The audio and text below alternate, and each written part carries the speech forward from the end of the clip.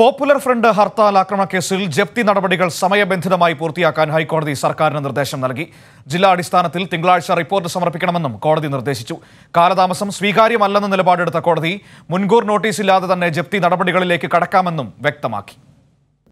ഹർത്താലുമായി ബന്ധപ്പെട്ട് സ്വമേധയാ എടുത്ത കേസാണ് ജസ്റ്റിസുമാരായ A K Jayasankaran Nambiar C P Muhammad Niyas എന്നിവരടങ്ങുന്ന ഡിവിഷൻ ബെഞ്ച് പരിഗണിച്ചത്.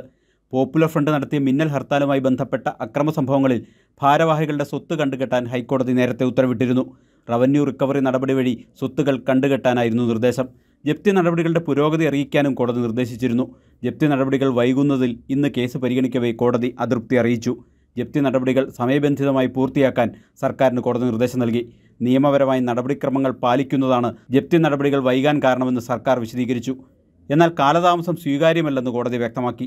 മുൻകൂർ നോട്ടീസ് ഇല്ലാതെ തന്നെ ജപ്തി നടപടികളിലേക്ക് കടക്കാം. ഇതിനായി സ്വീകരിച്ച നടപടികളുടെ പുരോഗതി ജില്ല തിരിച്ച് സർക്കാർ തിങ്കളാഴ്ച കോടതിയിൽ സമർപ്പിക്കണം. മിന്നൽ ഹർത്താൽ മൂലം അഞ്ച് ദശാംശം രണ്ട് കോടി രൂപയുടെ നഷ്ടമുണ്ടായതായി കണ്ടെത്തിയിരുന്നു. ഈ തുക ഹർത്താലിന് ആഹ്വാനം ചെയ്ത പോപ്പുലർ ഫ്രണ്ട് നേതാക്കളിൽ നിന്നും ഈടാക്കണം എന്നതായിരുന്നു കോടതി നിർദ്ദേശം.